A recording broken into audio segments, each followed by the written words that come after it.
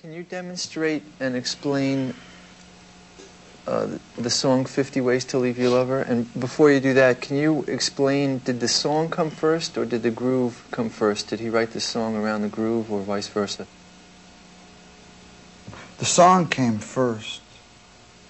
And uh, we tried it a few different ways and ended up, you know, with that feel. Mm-hmm. Can you Um, demonstrate that? Yeah.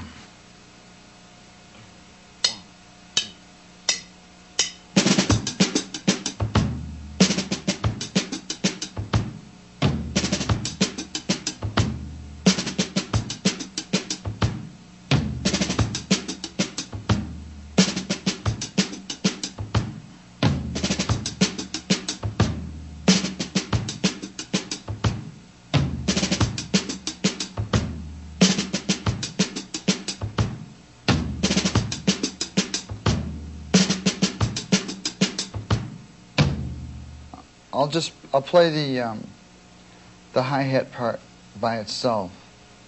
Okay. Mm-hmm.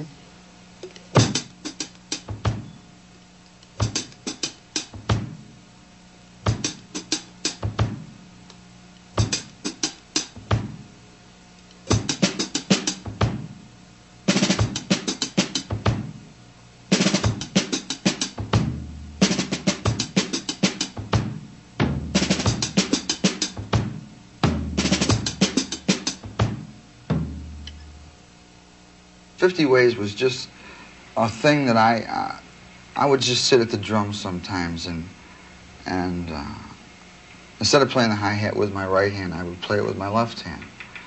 And from playing bebop, the hi hat, a lot of times you would play it in four, or you would play it in different places. You know, I mean, it was more free Mm-hmm. than just two and 4 Mm-hmm.